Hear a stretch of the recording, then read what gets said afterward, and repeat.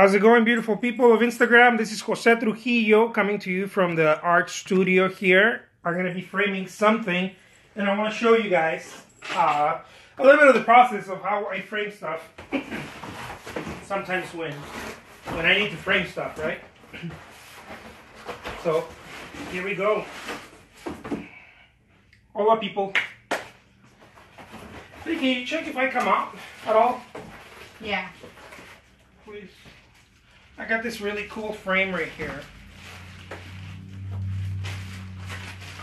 Don't if I come out. Which is my beautiful hands. Hi, Farah. Ah, yes, I'm making it so that you come out, but it's more important that the painting come out. I want to come out too. Let's start a show here. All right. I think you're in it now. Cool. So I just want to show you guys this awesome type of Baroque style frame. It's very cool. Uh, it's not really Baroque. It's more really cool classical. I don't know, Impressionist, I like how post-Impressionist you're like, I don't know, really cool. Really cool classical. Yeah. Yeah, let's just call We're it just really making cool. up genres now. Yeah, yeah. Really It's- cool classical. Really cool classical is a new is a new uh, Yeah. art art art school art period Yeah. style. Don't So- look it up, folks. Yeah, don't look it up. So I'm gonna be framing this. Let's see what if you guys are able to. Farah says it's a nice frame. It is. Oh, we look love at that that. frame. Look at that. Yeah, yeah. I just love the colors on that painting. it's too poppy. It's awesome. Well, it's, there's there's no such thing as too poppy. It's poppy. I like it.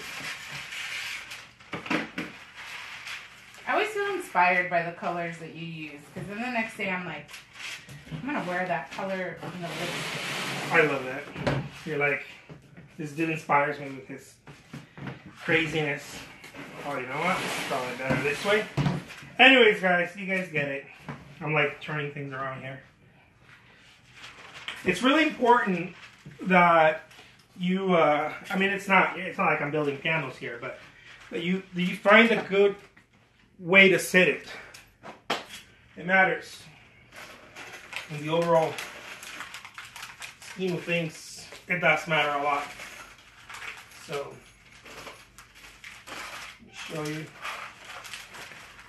a little bit of the process. Did you guys see the little? We got a we got a new little pooch. I can't see 'em. yeah, he was like right here somewhere. Oh yeah. Yeah. So here's some brackets that I use. Different types of brackets depending for the type of job.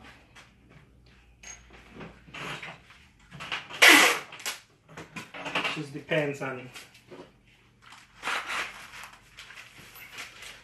Uh, You're getting lots of hearts. oh Yay. yeah, guys, give me some heart. I live with heart. Boom, boom, boom, boom, boom, boom, boom, boom, boom. Oh, that sounds like shark, huh? Like Jaws? Like shark. Jaws? Like shark. That's the. guys, uh, tell, tell tell them your my story about about about not knowing anything about uh, uh, Pop culture? Pop culture. Yeah, you're like the worst pop culture. I was born in Mexico, you guys. So, so like my pop culture, it's not like there's no pop culture there, but I, I don't think I, I, I was exposed to a lot of pop culture. It's so weird because you grew up here, so it's like really weird that you don't know any pop culture. Yeah, but you know, I was. I'm an immigrant. We were always working. the only thing I remember of my childhood was like working. I, I- you know, we were always working. There's something that you know. I feel blessed and a little and slightly uh, feel like I missed out on my childhood. no, I didn't miss out, but but yeah, I mean, there was always there was always something to do. There was always some type of work.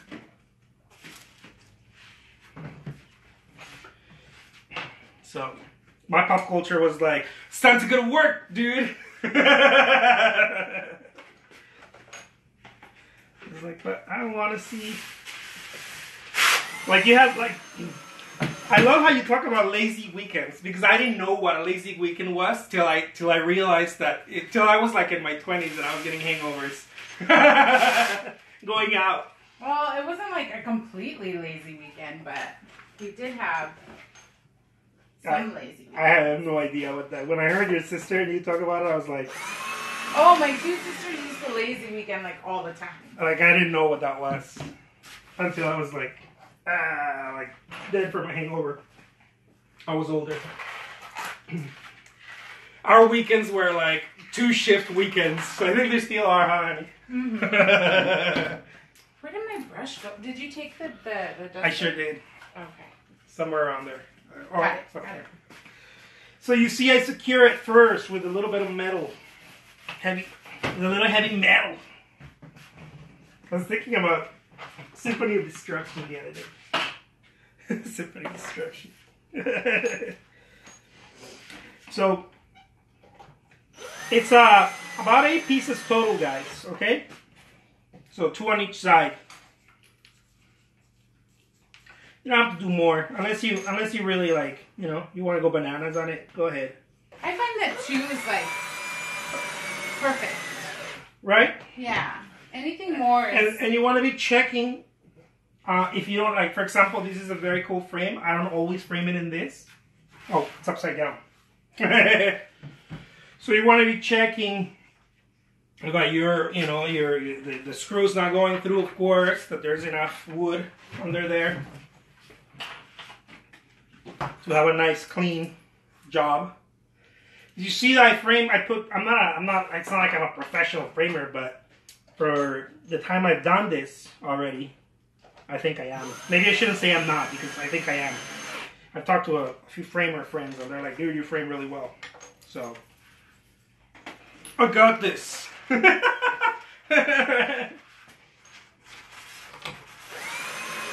I was watching that movie uh, with Jonah Hill the other day. I uh, yeah. huh? No, go ahead. That movie, uh, what was it called? War Dogs or something? Oh yeah. And he had that little laughter. Yeah. I was like, I like how he laughs. You have more of like a like a Seth Rogen laughter. Yeah, the girl in Starbucks, remember? she's like, you laugh like Seth Rogen. I was like, I don't know if that's a compliment. He's got a cheesy giggle. Or like the dad from uh, Family Guy or whatever. I think we're boring everyone with our conversation. No, we're not. Hearts have stopped. Oh my god. Really? Even though I'm like doing extra extra work, I'm showing you guys what I'm doing here. And I'm telling some awesome life lessons. Life lessons.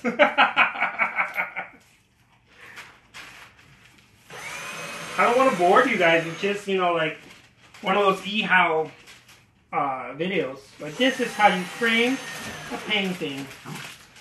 I want to show you guys. I want to be like, show me. Don't show me. Don't show me pictures. Like a lot of a lot of people just show pictures, or they show like like the videos. They're they they do like those cooking channels, where they do something and then they skip to the next part. And then they. I want to show you like the whole raw thing, like right here. Look, bam, bam. Look at that. Yeah. Okay, so now what we're gonna do Is It's- wire it. no, we're not gonna wire. We're gonna we're gonna put a uh, what do you call it? Oh, a paper backing. Paper backing. Uh, there's different names for that. You're not gonna do the double sided? The double sided tape? Yeah. No, I'm gonna use I'm gonna use um, glue. Got it. I like using glue.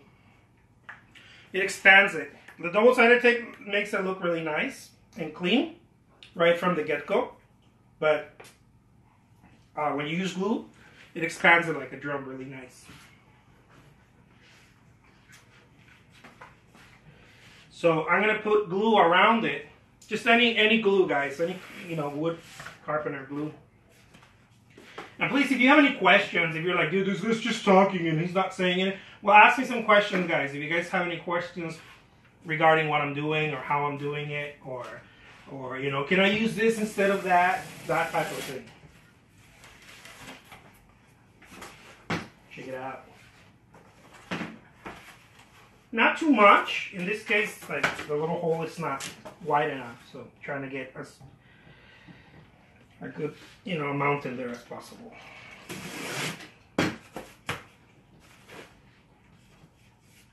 There we go. and it's just on the edge, but this frames come reinforced with this little corner, uh, MDF corner little panels.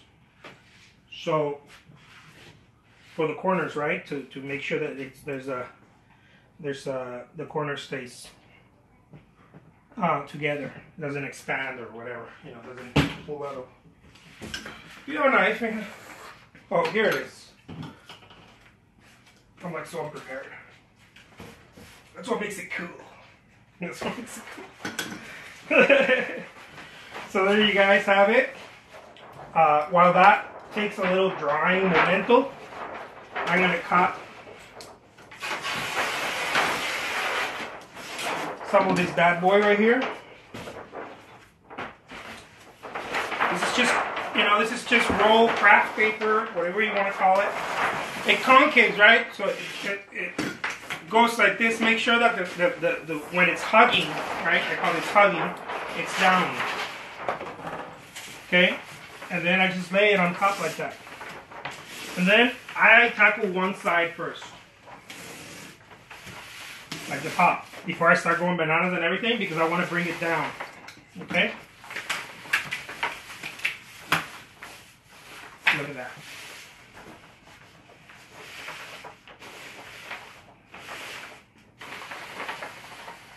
Alright. It's A lot of hand. People are like, dude, some of the paintings are kind of expensive. The amount of time that goes into framing and packaging is. Packaging is insane. I mean, you can have my wife here tell you. It's because I can't, I don't have the heart to just put them in a box and just, you know. Well, you can't. It's artwork. It's got to, and you want to make sure that it arrives intact. Well, I mean, buy something from Amazon or somewhere and you'll see that, you know, especially a print, right?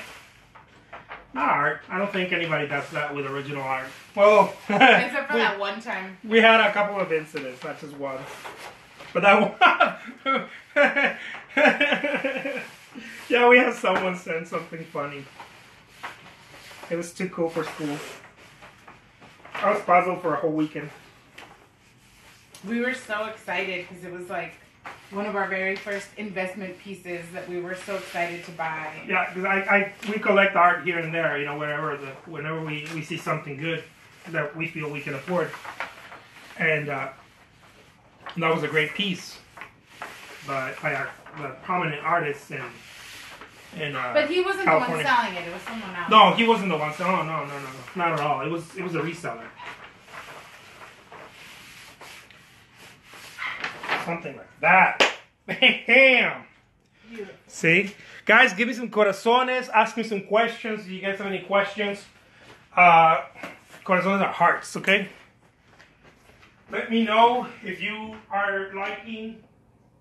If you like what you're seeing. If you don't like what you're seeing, if you think that, dude, I've seen this already, I don't like it. You got a bunch of hearts right now. Oh yeah, I like the heart. Mm. I also got my second. Is this second? This is Duke's, huh? This is not third. It's second Starbucks of the day. Mm. There's different ways to uh, to do this, but you know this is just one of them. Also, some people were asking me about the frames. There's all kinds of places where you can buy frames. If you're an artist, if you're you know, there's many places, many resources. Just you know, it's worth a Google. And uh, it depends on your budget. Depends also on where you're at in your in your. Uh, There's a local framer we really enjoy using. we really enjoy using a local the local framers. Oh, sorry about that, guys. There's a the little puppy was like Hey, he's going bananas.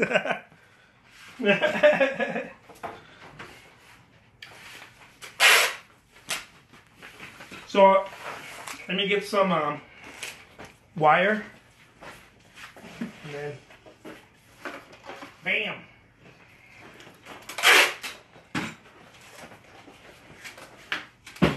Also, you can buy uh, wire like this, roll. You know, there's different there's different things. There's different things you can do. You don't have to use wire. You can use well for this heavy pieces. I would recommend, but there's there's different. I'm gonna do some other videos also showing you guys how you can do it with um, uh, especially for those large, large pieces with a uh, what's called a French clip. Uh, uh, it's a uh, how do you call it?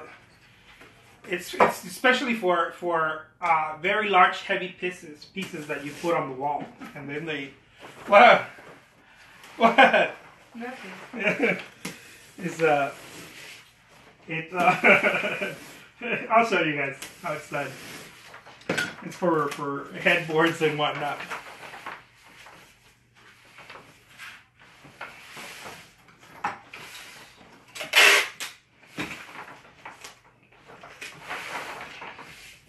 I don't even know if I pronounced that correctly. Oh, you did it. No? It's pieces. You corrected yourself. Uh,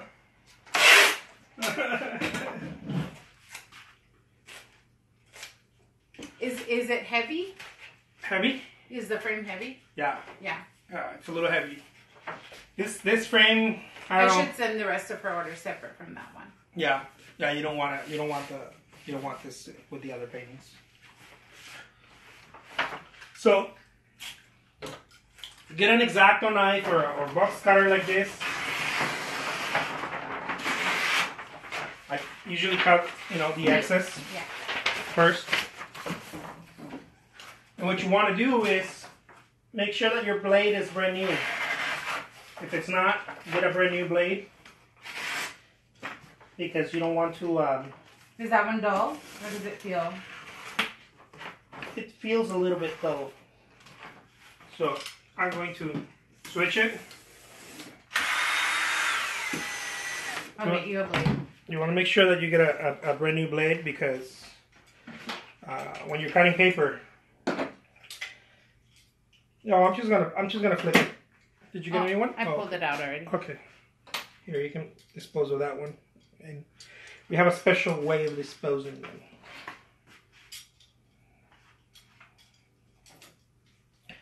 So,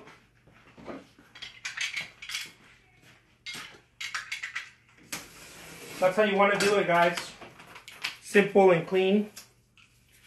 Uh, I'm also going to be doing some frames for, for larger pieces, like really large pieces uh, some of those contemporary frames, and I'm gonna be showing you guys how to do those. A lot of people are very interested in those because, uh, well, they're contemporary. You know, they're in they're in trend. They're in trend, so it interests a lot of uh, a lot of artists. It interests me a lot because they look really cool. They they uh, they just look really contemporary and slick. and you can do those. You can have those done with a uh, local framer. Uh, even even uh, a trusted handyman can do those for you. I'll show you how they're done. They're really cool, very basic, minimalist type of work. Uh, but they they look they look very uh, very contemporary and and show worthy, definitely. You know definitely show worthy. Especially look really good on the big ones. You know, you start going on those uh, uh, four, five feet paintings, seven feet, seven foot paintings, depending on you know how big you want it. Even even for smaller ones, even thirty by thirty inches, they look awesome. Even the little ones look really cool. I've seen some people put them on. You know, they're really like kind of like floater frames. They're not entirely. Um, they just kind of hug the painting on the sides. They, they look like floater frames.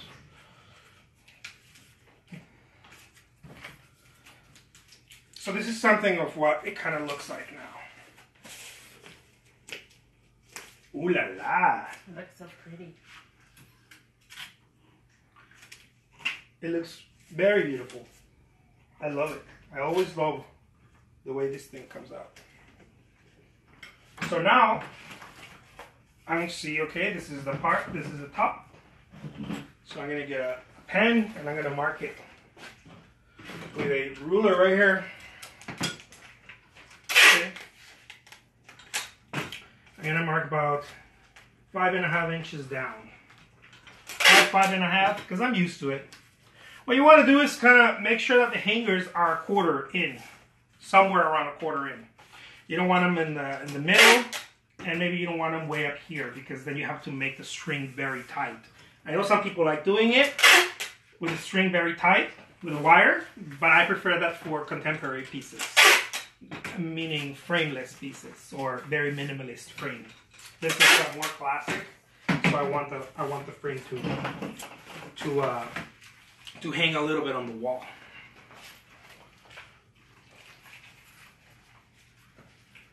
The frame is a bit more classic. The painting's not, but the frame is. It's just kind of how I roll, you guys. It's how I roll. as soon as I can open this. Okay. These are the wire hangers. No more wire hangers! See, you a pop culture reference. I do a pop culture reference. yeah. Is that Mommy Dearest? Yeah. No more wire hangers. Is that like the first version of? No, it can't be the first version of. Well, it's based on the true story of Joan Crawford, but it's from the movie Mommy Dearest. But it's like a book her daughter wrote, Ooh. her adopted daughter. Whatever. Anyway. And you want to go slow with this. If you haven't used one of this, make sure you practice somewhere else first on a piece of board, on a 2x4 or something. And you want to go slow. It has a little number usually, depending on which ones you're using. Don't use number two, use number one. Slower. Yeah, because like pinching your finger hurts. Well, that and, and possibly hurting the frame or, the, or God forbid, the painting, you know? So you want to go very slow. It's, it's, it's, uh, it's just, you just want to go faster than doing it with your hand. It usually does it 10 times faster. You don't have to do it 20 times faster. Unless you're proficient with it or whatever. Right. But even then, you know, you want to go, you want to go slow. What's, what's the hurry? Not with this kind of stuff, you know. You want to go slow with this stuff. So here's the wire. Here's the wire hanger. So when in a heavier piece, make sure you get wire that is for for hanging heavier artwork. Okay, it just depends on. It tells you. I don't know if this one here tells you.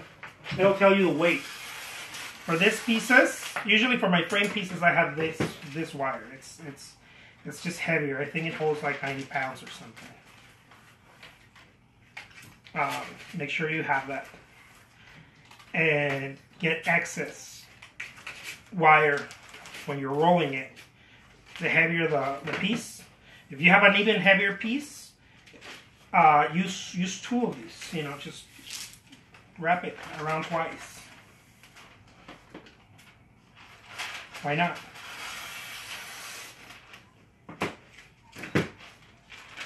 Better to be safe than sorry.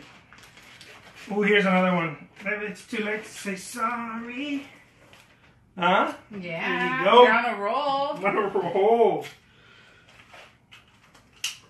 Maybe I need some some new clips. So there you go. I try to make sure that there's a little bit of hang, not too tight, because what happens is that you don't want these little things to, to force themselves inwards. You want them to go out in the in the direction they're at. I don't put them straight. I put them kind of like this. It's not at 45, but at, I guess at 30, maybe 30 degree angle. I don't know. Just a little slanted. I don't want to get too technical on this because I'm not that technical at all. By the way, these are not secrets, guys. This is no, this is no, you know, this is just basic framing. Okay? This, uh, I'm sure someone else is talking about it in YouTube, but they're not me. They're not cool like me. and they don't have Lisette around. So, so it's that simple, guys. Check it out. If I can do it, you can do it. I learned how to frame. There you have it. The name is Jose Trujillo. Bam! I just got my haircut done. Check it out. Mm, looking good. Take care, guys. I hope you guys, uh, mommy dearest. I hope you guys had a had a cool time here checking this out. Uh, and I will be posting some more stuff soon. Those of you who are watching this uh, later on on on YouTube, uh, don't get cranky because the video. Yeah, is video profile. Hit, hit full screen and you'll be able to see it. Yeah. Take care, guys. Thank you so much. Till next time. Bye bye.